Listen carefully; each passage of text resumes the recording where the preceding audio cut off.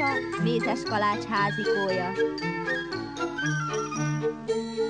Zenéjét szerezte Kocsár Miklós.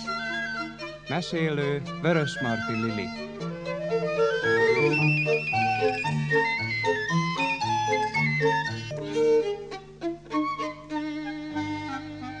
Bizony már hosszú idő telt el azóta, hogy Jancsi és Juliska hazatalált. Közben tél lett, mindent belepett a hó, és ők nagyon vigyáztak arra, hogy a kis állatok ne éhezzenek a csikorgó hidegben.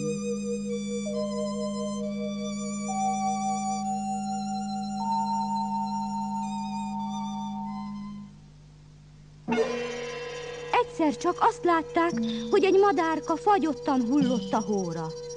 Már a szárnyait sem tudta emelgetni. Juliska kiszaladt, hogy segítsen rajta.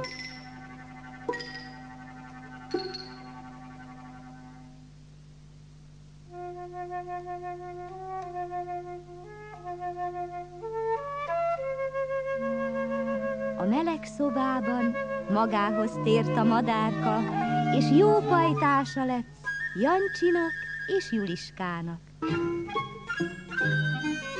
Egyik gyerektől a másikhoz repült.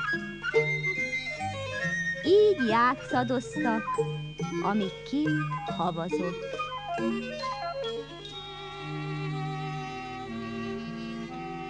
Amikor játék közben megpihentek, mindig a mézes kalács házikóra emlékeztek.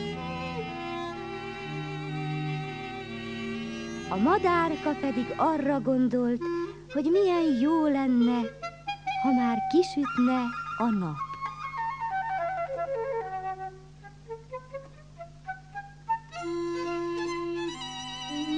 Eljött ennek is az ideje. A napsugarak kivirágoztatták az erdőt, mezőt. Tavasz lett. Madárka megköszönte kispajtásai kedvességét, és elrepült. Jancsi és Juliska sokáig integettek utána.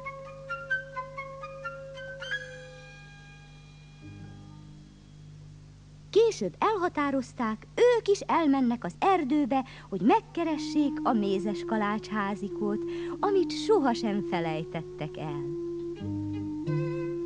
és egy reggel elindultak. Jancsi még a táska rádiót is a nyakába akasztotta, útközben szólt a muzsika. Ment, ment Jancsi és Juliska, ám egyszer csak eltévesztették az utat. De Nyuszi Sanyi észrevette a bajukat, nyomban telefonált az erdő állatainak, hogy segítsenek a két gyereken és amíg Jancsi a fára mászott, hogy távcsővel megkeresse az utat, Mackó Zoli meg a többiek már ott voltak körülöttük. Gyertek csak utánam, sietnünk kell, mert mindjárt elered az eső, mondta Misi mókus. Jancsi és Juliska szedte ám a lábát, mert Misi igen gyors mókusugrásokkal sietett előttük. De akárhogyan rohantak, utolérte őket az ápor. Misi mókus egy óriás gombát tört le esernyőnek. Juliska a szoknyáját kapta a feje fölé. Jancsi meg sapkát kötött a zseb zsebkendőjéből, de így is igen csapkodta őket az eső.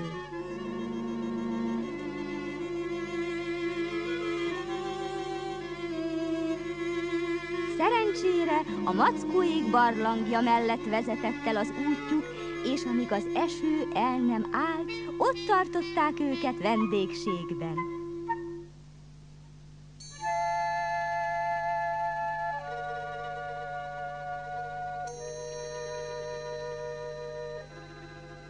végre valahára ismét kisütött a nap.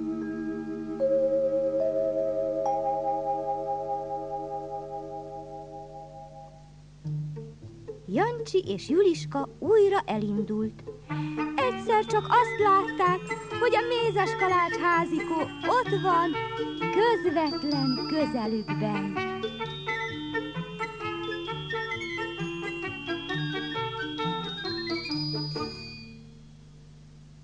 Most jött még az igazi meglepetés, mintha csak reájuk vártak volna. erdő zenekara vidám zeneszóval fogadta őket.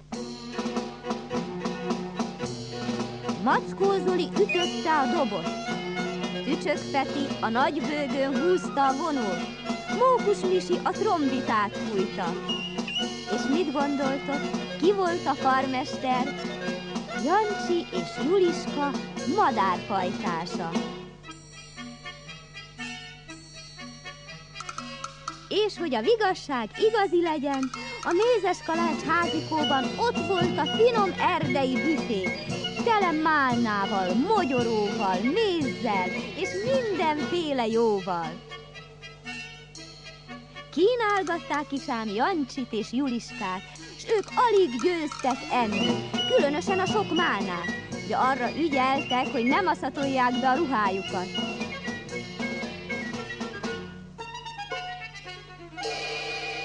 Megszólaltatták a rádiót is, csak úgy visszhangzott az erdő. Nincsen többé bosszorka, ilyen Jancsi Juliska és a kedves gyerekek, igen soká éljenek. Nincsen többé bosszorka, ilyen Jancsi Juliska és a kedves gyerekek, igen soká éljenek. Ezután kezdődött a nagyszerű játék. Jancsi és Juliska olyan versenyt rendezett a hintán, hogy a szegény mókuska már alig bírta erővel. Juliska csak nem a felhőkig repült.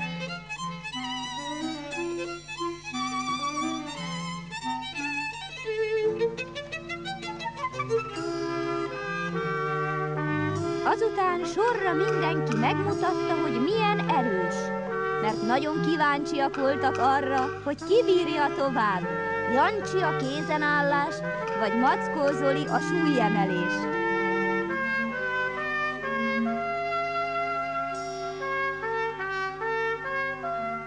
A legérdekesebb játék persze a versenyfutás volt. Még Teknős Jónás is ott igyekezett a többiek között, pedig hát alig bírta de csak futott, futott, hogy szégyenbe nem maradjon.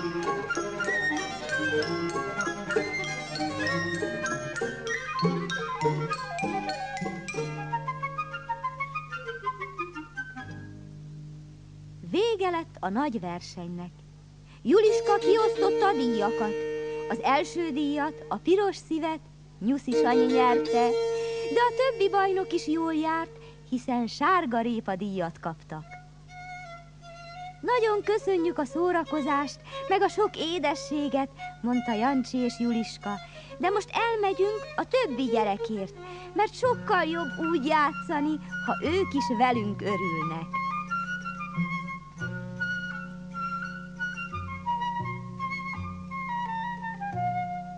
Hazamenet a fákra jeleket festettek, hogy könnyen visszataláljanak, ha majd pajtásaikat is elvezetik a mesebeli házikóhoz. Jöttek is a gyerekek egyik a másik után. Szüleik jól megpakolták hátizsákjukat, meg táskájukat útravalóval. Is érkeztek hamarosan az erdő közepére. Ennyi gyerek számára kicsi lett a mézes kalács házikó. Annyi baj legyen, hozzáfogtak az építkezéshez. A mézes kalács házikó körül egy-kettőre felépült a sátortábor. Jancsi magasra húzta fel a zászlót. Megkezdődött a gyerekek nyári üdülése.